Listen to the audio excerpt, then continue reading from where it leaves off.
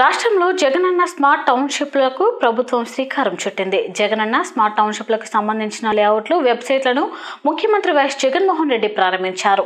ధర్మవరం పట్టణంలోని మున్సిపల్ కార్యాలయం నుంచి వీడియో కాన్ఫరెన్స్ ద్వారా ప్రభుత్వ శాసన మండలి విప్ వెన్నపూస గోపాల్రెడ్డి హిందూపురం ఎంపీ గోరంట్ల మాధవ్ జిల్లా collector S Nagalakshmi Dharmavaram MLA Ketireddy Venkataramireddy UDA chairman Mahalakshmi Srinivas రాష్ట్ర వక్కలిగ కార్పొరేషన్ చైర్మన్ నళిని రాష్ట్ర నాటక academy chairman Haritha joint collector Gangadhar Goud HUDA vice chairman Muralikrishna municipal chairman Lingam Nirmala municipal vice chairman Sai Kumar Chandamuri Narayanareddy ఆదివ Varaprasad municipal commissioner Mallikarjuna తహసీల్దార్ Neelakantam Reddy municipal కౌన్సిలర్లు తదితరులు ఈ video కాన్ఫరెన్స్లో పాల్గొన్నారు.